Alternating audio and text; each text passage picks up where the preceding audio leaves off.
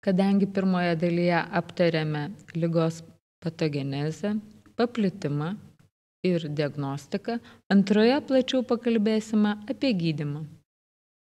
Antroje šios paskaitos dalyje norėčiau pakalbėti daugiau apie gydimą. Taigi grįžtant prie klasifikacijos. Dažniausias plautinės hipertenzijos rūšis tai yra plautinė hipertenzija dėl kairios širdies pusės lygų ir plautinė hipertenzija dėl plaučių lygų. Svarbu tų lygų gydimas. Taigi kairiosios širdies lygas gydant, jeigu reikia, yra koreguojami voštų įdos, gydoma raumens patologija. Esant plaučių lygoms, jeigu reikia, yra skiriami vaistai, kurie praplėstų bronchus, arba degonės terapija, arba ir tai, ir tai.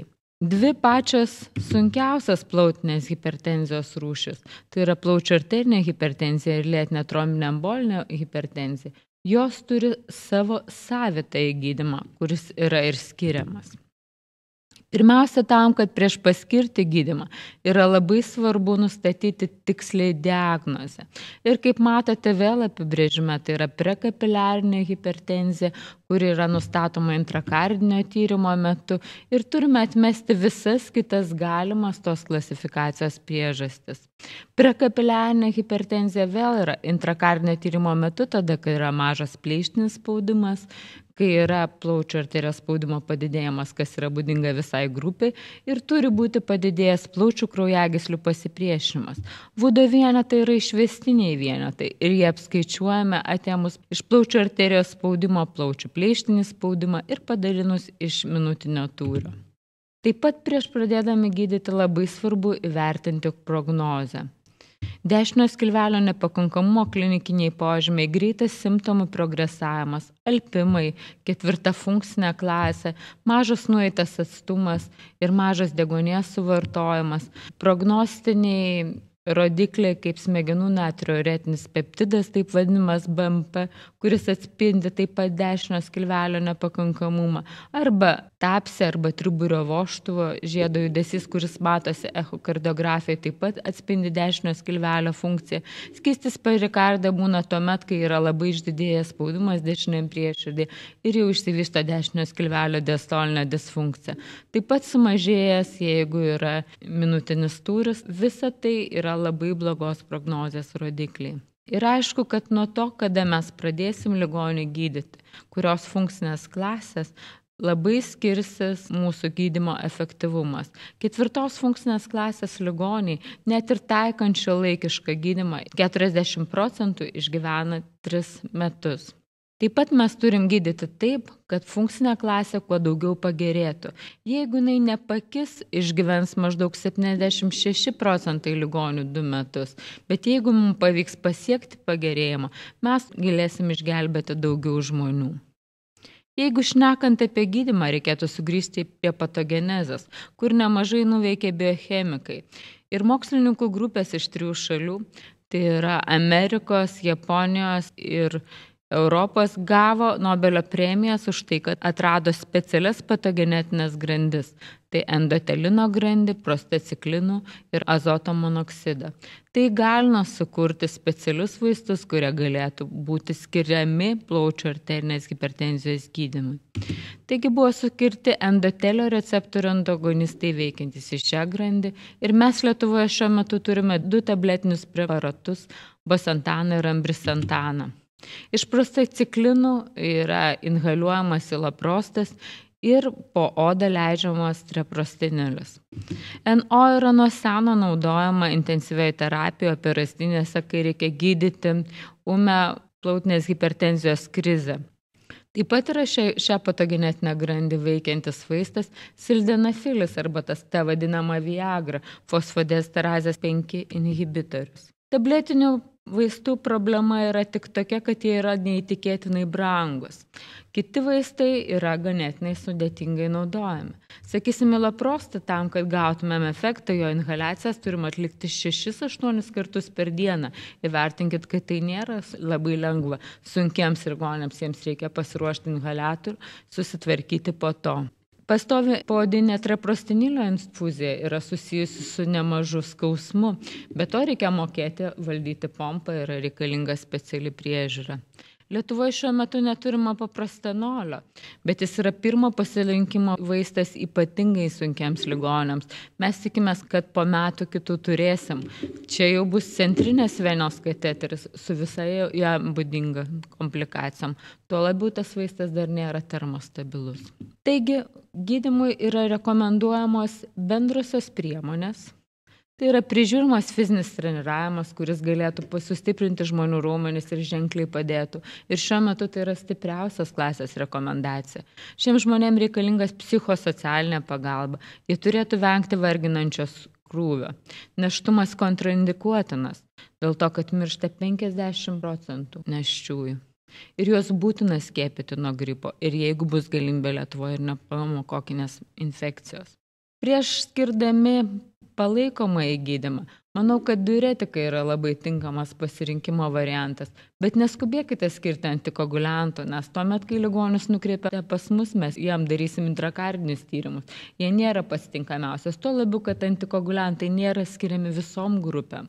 Degunės terapija yra skiriama pagal indikacijas, o dikoksinas gali padėti tik tam tikriem ligoniam, ypač kai reikia sukontroliuoti dažnai esant prieširdžių virpėjimui. Taigi pagal Europos rekomendacijas toliau reikėtų nukreipti ekspertam. Tuomet mes, kaip jau minėjom, atliekam visus tyrimus ir taip pat atliekam vazorektivumo testavimą tiems ligonėms, kuriems galėtų padėti kalcio kanalų blokatoriai. Vazorektivumo testas parodo, atrenka tuos ligonius, tą nedidelę procentą, 10-15, kuriam pagrindinis patogenetinis šios lygos mechanizmas yra kraujagislės spazmas. Ir jeigu jis yra vazorektivumas ir yra ne ketvirtos funkcinės klasės, mes skiriam kalcio kanalų blokatorius ypatingai didelėmis dozėmis. Nereiktų jų skubėti skirti tol, kol nebuvo atliktas testavimas. Tuomet visą laiką tikrinam atsaką. Ir jeigu per porą mėnesių pasiekėm pirmą, antrą funkcinę klasę, tuomet tęsiam kalcio kanalų blokatorius, šių ligonių yra prognozija ženkliai geresnė. Bet jeigu nėra ilgalaikio atsako arba ligonis yra nevazoreaktyvus, tuomet yra skiriami patvirtinti savitieji plaučių arterinės hipertenzijos vaistai. Nors Europoje rekomenduojama gydyti nuo antros funkcinės klasės, šiuo metu dar Lietuvoje tokios kompensuojamos galimybės neturime. Tačiau, kaip jau minėjom, turim penkis vaistus, kuriuos galėtumėm pasirinkti. Ketvirtos funkcinės klasės, kadangi mes neturime paprastanolio ir kad galėtumėm išgelbėti šios ligonius, mes neretai pradedame gydyti vaistų deriniu. Taigi, jeigu gydančiais vaistais negauni adekvataus klinikinio atsako ir ligonio būklė blogėja, tuomet galima pridėti kitą vaistą ir patikrinti ligonio tinkamumą transplantacijai. Jeigu netgi taikant maksimalų gydimą nepavyksta gauti klinikinio atsako, tai reikėtų ligonius nukreipti plaučių transplantacijai. Lietuvoje yra atliktos keturios tokios transplantacijos tokiem ligoniam. Kai kuriems ligonėms kaip tiltas galėtų padėti balioninė prieširdžių septostomija, tai yra padarimas skilutės tarp prieširdiniai pertvaroj tam, kad dešinioji širdis kažkiek tai galėtų nusikrauti, kad jai būtų šiek tiek lengviau dirbti. Labai svarbu šitą ligonių priežiūrą. Ir aišku, kad priežiūra yra mūsų visų darbas. Jūs turite labai intensyviai gydyti infekcijas, nes jūs gali nužudyti ir sloga. Taip pat reikia labai svarbu tvarkyti mažakraujystę. Normalus hemoglobinas šiems hipoksiškams ligonėms yra 170-180, o sergant šuntiniam įgimtom širdies įdom, Eizenmengerio sindromu, jų hemoglobinas normalus yra virš 200. Taip pat neužmirškit pakartoti tyrimų. Pavyzdžiui, INR, jeigu geria varfariną. Jeigu geria endotelio receptorių antagonistus, yra rekomenduojama tikrinti kepenų fermentus vieną kartą mėnesį. Ir nebijokite pasitarti su specialistais, jeigu juos ruošite bet kokiai chirurgijai ar intervenciniam procedūrom kad galima būtų aptarti procedūros eigą, anesteziją, visokias apsauginės priemonės, kaip galėtumėm šiem žmonėm padėti. Taip pat skiriant papildomus vaistus, nes jūs gerai žinote apie vaistų sąveiką. Taip pat jeigu reikia keisti antikoguliantų režimą, prieš traukiant dantį nereikėtų tik nutraukti varfariną, bet tiems žmonėms reikėtų paskirti mažų molekulinį hepariną po kelių dienų. Dabar norėčiau sustoti ties lėtinę trombinę embolinę plautinę hipertenziją. Pati nėra tokia reta lyga. Ir įvairių statistikų duomenimis Lietuvoje per metus jau turėtų būti apie pusantro tūkstančio. Lėtinės trombinės embolinės plautinės hipertenzijos tikslus dažnis nėra žinomas, bet įvairių studijų duomenimis jis galėtų būti nuo pusės iki 5 procentų visų persirgusių uminę emboliją. Jeigu pastebėsite, kaip parodyta skaidrė, vėliau ilgėlesnis laikas po umaus epizodo, jų skaičius šiek tiek didesnis. Lėtinė trombinė plautinė hipertenzija Tai yra tokia situacija, kai yra plautinė hipertenzija ir trombai plaučių arterijoje išlieka netrumpiau kaip du mėnesius tinkamai antikoguliavus, reiškia palaikant tarptautinį santykių tarp dviejų ir trijų. Tai yra labai blogos prognozės lyga. Jei vidurinis plaučių arterijos spaudimas viršė 35 metus išgyvena mažiau negu 30 procentų ligonių. Jeigu vidurinis spaudimas viršė 50, mažiau negu 10 procentų ligonių išgyvena 5 metus. Mes centre atliekame ne tik tai plaučių perfuzijos tyrimą, bet taip pat atliekam kompiuterinę tomografiją, kad sužiūrėti trombų lokalizaciją ir intrakardinio tyrimo metu atliekama įprastinė plaučių angiografija arba vadinama selektyvinė. Kaip matot čia, kaip nukirsta šaka, reiškia trūksta kraujagyslių, kažkas užkimšta. Ir mūsų radiologai dirba puikiai ir jie gražiai subraižo schemas tam, kad būtų galima paruošti šios ligonius gydimui. O gydimas yra chirurginis. Ir Lietuvoje pagal įvairią statistiką maždaug 35 ligoniam per metus galėtų padėti chirurgija.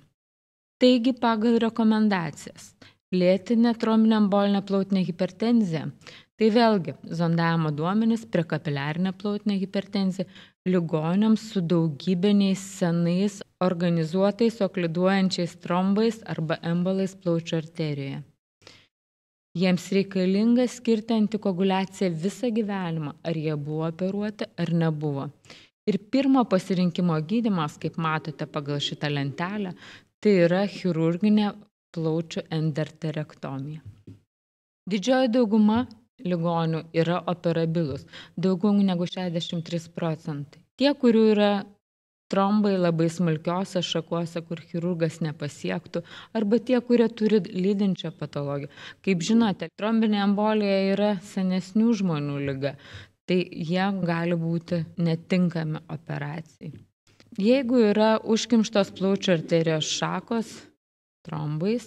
Chirurgai atidalina plaučių arterijos senelę su kartu esančiais organizuoto audiniu trombais ir išlaisvina plaučių arterijos šakas, atstato plaučių kraujotaką. Pirmoji operacija Lietuvoje sėkmingai buvo atlikta 2010 metais padedant profesoriui Maeriui mūsų ligoninėje. Ir dabar mes jau sėkmingai išgelbėjom jau keturis tokius ligonius. Pasaulyje šios operacijos prasidėjo senokai ir jų atlikta labai nemažas skaičius virš 3000. Pirmoji atlikta labai seniai, 1957. Jos nebuvo tiek daug atliekamos dėl to, kad jų būdavo labai aukštas mirštamumas.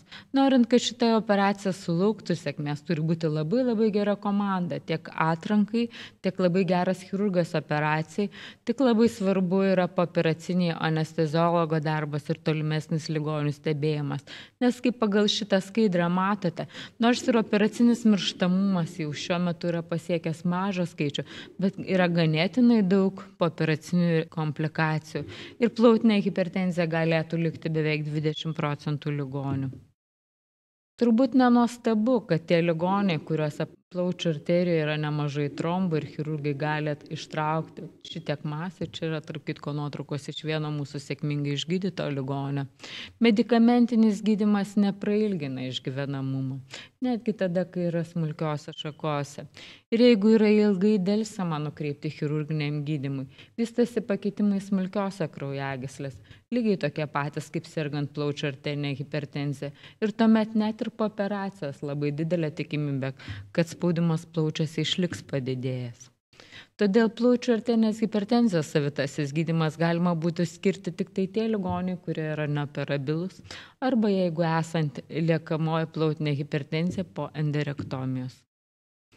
Taigi apibendrinant, Gydant specifiniais plaučių vazodilatacijos, sergančiųjų plaučių arterinė hipertenzija gyvenimo trukmė gerokai pailgėjo ir pagerėjo gyvenimo kokybė. Sėkmingai atlikus plaučių arterijos enderektomiją galima išgydyti lėtinę trombinę embolinę plautinę hipertenziją. Nepamirškite palikti jiems antikoaguliantus. Norint pasiekti gerų rezultatų, reikia kuo anksčiau nustatyti tikslę diagnozę ir laiku pradėti tinkamą gydimą. Labai svarbu atpažinti ankstyvus lygos simptomus ir nedelsiant ligonius nukreipti į referencinį plautinės hipertenzijos centrą, kuriame dirba multidisciplininė komanda, taikomi naujausi ištyrimo ir gydimo metodai. Ačiū, kad dometės šią retą ir sunkę ligą. Linkiu sėkmės darbe ir išlikti budriems bei smalsiems.